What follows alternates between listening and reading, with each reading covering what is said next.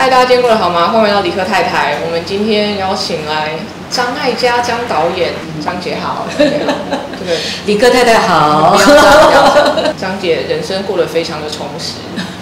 我们之前也在张姐的果实基金会里面上次座谈会上次座谈会。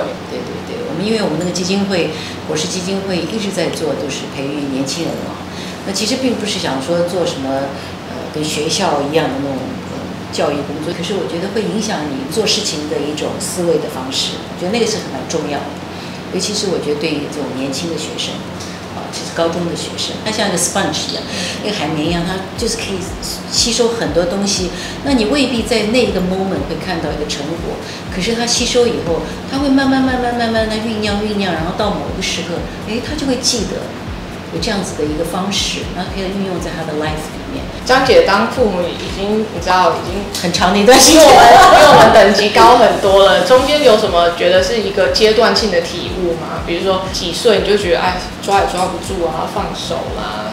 一定会有，而且我觉得真的有的时候真正需要去上课的或者是学习的是父母，不是 不是小孩子哦。现在的整个的社会的变化这么大这么快，那跟我们成长的真的是不太一样，我们就很难用我们自己那一套方式去教现在的小孩子。那我们自己一定在某个时候要有这种的认知，是你知道这个 awareness 其实对我们来讲还蛮辛苦的，你知道。体悟，就是觉得自己那套在这个年代已经不它不是百分之百的没有用，它是要转变一种方式。可是也不代表说我们跟不上，就表示我们是无能的，我们是笨的，我们是愚蠢的，不是。然后到最后他们会发现，有些时候并不是科技可以解决你所有的问题。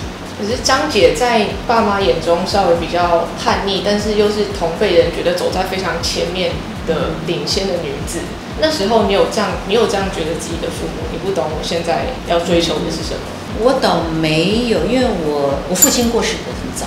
那可是我的母亲，因为我母亲是一个非常独立的人，所以她对我的管教是很很不太一样的。我要解决我自己所有的问题，比如说我翘课，如果我翘课，我被学校抓到啊，他打电话到我们家去的话，我妈说，哎，他不在啊，他说他去上课了，他不会帮我掩饰我的错。他也不会骂你，对啊，你你你自己翘课，你自己去承担你自己的问题。那这是一种方式。我如果决定我今天要做一件可能是会会受到惩罚的东西的时候，我就要先自己想好说，好，那那我可不可以接受这个这个后果？所以张姐从小就被训练要为自己做的事情负责。张姐一路走来，活得这么自在，能有余力去关怀社会、回馈社会，做这些事情。其实某种程度上，你前半段要做对事，你后面你才会有钱有余，还有资源去 support 你之后想做的事情。我们到现在还是觉得非常的迷惘。二十岁的时候觉得三十岁要怎么办？三十岁的时候觉得四十岁要怎么办？这个是很现实的，没有前面做对，后面就可能不允许。嗯，所以我想要问张姐的问题就是，嗯你会给我们什么建议？我觉得我们要花多点时间在我们现在可以做什么。我的成长的过程其实有很多事情是复杂的，我喜欢把复杂的事情变得简单化。我要做什么事情，我就尽量去做它，并没有去想说我这个事情做完以后，它可能会不会带给我多少的名或者利或者什么好处。那这些事情，你说中间是不是有浪费过时间，或者是我做错过什么？一定有。可是这些做错的这些过程，我觉得都是我成长的每一个阶段。大家花太多时间去看，说啊，我一定要有这样子，我才能够做这个；我要那样子，我才能做那个。那你永远都是在想，而你没有说你真的去开始就是好好做。就像你，你决定要做了这个葛太太的时候，你就做了。可是你并没有想到说，你那个时候你就知道你有多少多少粉丝会出现吗？没有吗？对。就像我当初做演员或唱歌时候，我也没有想到我可以从十八岁一直做到六十六岁，我也没有想到过说我自己会有个基金会，而且我当时做基金会的时候，我也只有一点点钱在做，我没有想到我今年可以有机会可以做到基金会做那么大。啊，我一九九三年的时候跟展望会第一次出去，去到索马利亚，去到肯尼亚，去到伊索比亚的时候，我是吓傻掉了。那我也没有想到我可以跟着他们做了二十多年。然后走到这么多地方，然后这些东西带给了我这么多的成长，我看到的世界真的是太大了。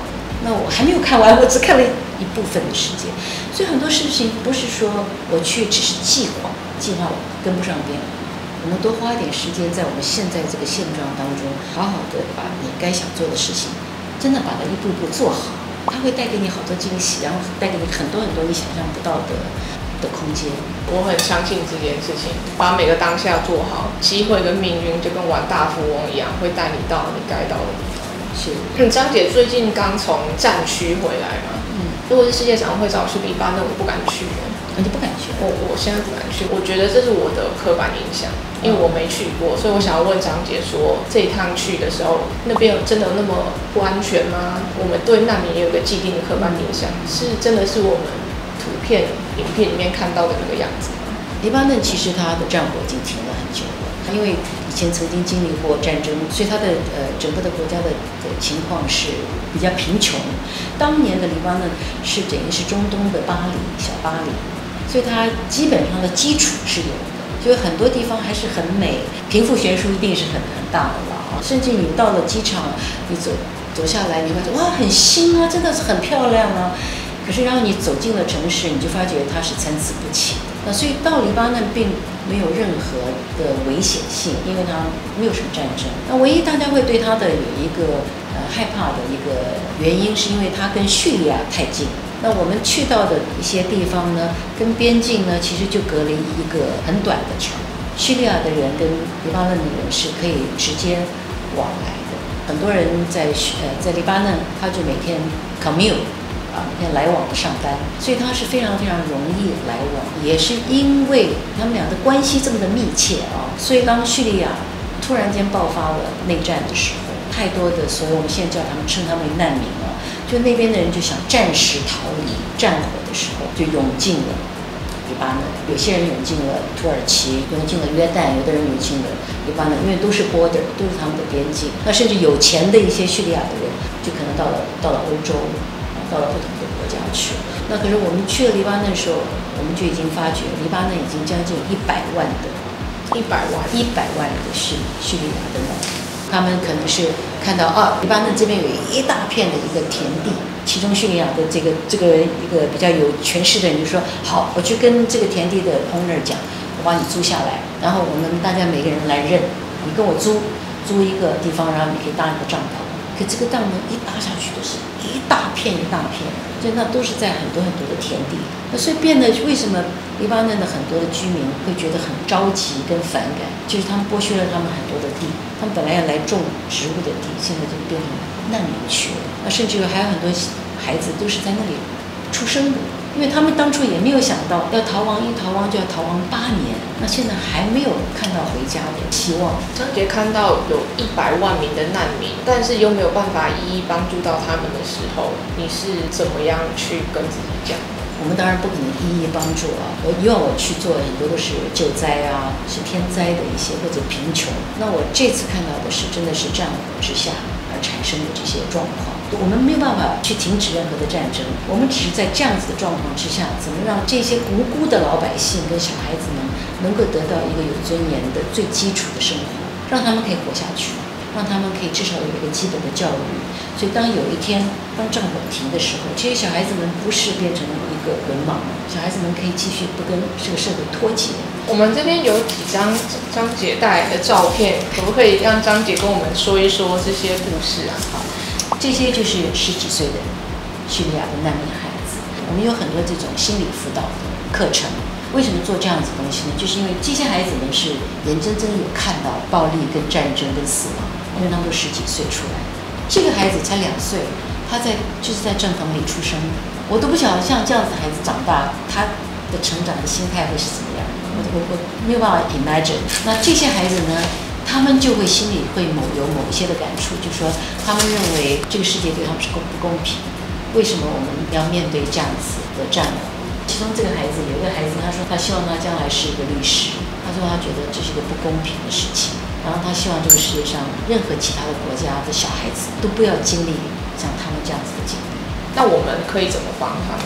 捐钱，张姐是比较实际的。是，就是为什么一百块对都好。对你只要你捐一点点哦，我们我们都讲就是积少成多了。我们一直在不停的在调整所有的工作，就是希望让这些孩子们能够有机会去成长。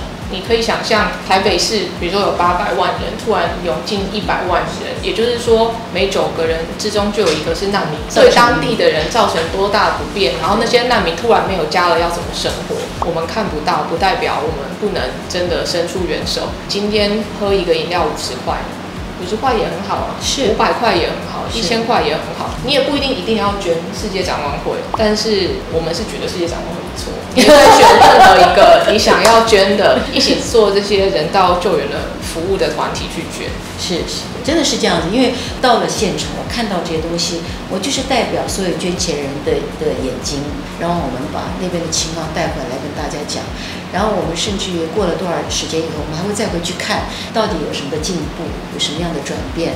这就是你们捐钱以后的成果。那今天谢谢张姐分享这些东西，从为人母的教育啊，张姐以前年轻叛逆的往事啊，到现在这么成功，然后还可以伸对大家伸出援手，让我觉得学习很多。谢谢你，谢谢也感谢张姐一路以来一直去一直去做这些活动。raise 大家的 awareness，因为没有人去，大家真的看不到。那今天就这样啦，如果你喜欢我影片的话，请帮我赞、留言、分享。如果你还没订阅的话，请帮我订阅一下哦。谢谢收看，我们下次见，拜拜。哇，你最后那句话讲的好快啊！你再讲一遍。今天就讲到，如果喜欢我影片的话，你帮我赞、留言、分享。如果还没订阅的话，请帮我订阅一下，谢谢。哇塞！因为这句话没有很重要。